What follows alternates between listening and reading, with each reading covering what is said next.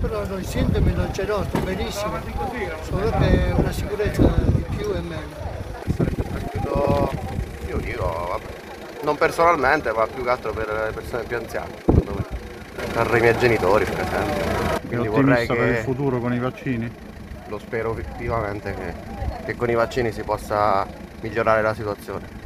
Meno sapere se per caso sono asintomatica, insomma, io sto bene, normale, dobbiamo per forza farlo, insomma, una cosa del genere, per risolvere. Termoli centro del Molise con più contagi da oggi al via un'importante attività di screening voluta fortemente dal comune, uno screening di massa con la fattiva collaborazione degli infermieri della Misericordia di Termoli e dell'associazione Cives. L'iniziativa è organizzata dal Comune di Termoli. Il Comune di Termoli ci ha chiesto una mano per fare questo screening alla popolazione residente a Termoli.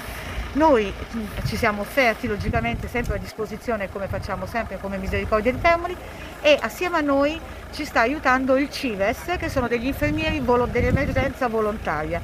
Quindi infermieri della Misericordia, infermieri del CIVES, il comune ci ha messo a disposizione eh, il materiale, insomma tutte queste cose che ci servivano, la parte burocratica l'ha fatta inizialmente il comune, la parte eh, finale la facciamo noi sempre. Questa mattina abbiamo, abbiamo dato il via saranno quattro giorni fino al fine settimana, eh, fino a domenica quindi che verranno, verranno svolte queste attività.